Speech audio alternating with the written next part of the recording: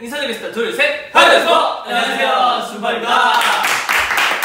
네, 선선해진 가을 날씨와 함께 민족의 대명절인 추석이 돌아왔습니다. 아니 2018년에 새해 인사를 드린 게 엊그제 같은데 벌써 추석이 돌아왔어요. 와, 와, 진짜 빠르다. 네. 근데 이번 추석은 유난히 반가운 것 같아요. 음. 왜냐면 이 추석이 지나고 나면 곧 스윙들을 만나는 시간이 오거든요.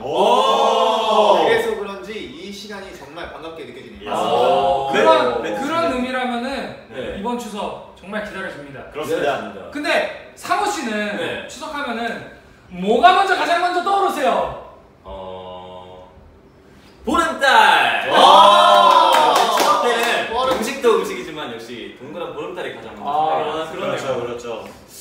보름달 보면서 소원을 비는 게 있잖아요. 네. 그렇죠, 그렇죠. 저희 스누퍼도 네. 그리고 스윙분들도 보름달 네. 보면서 소원을 비셨으면 좋겠습니다.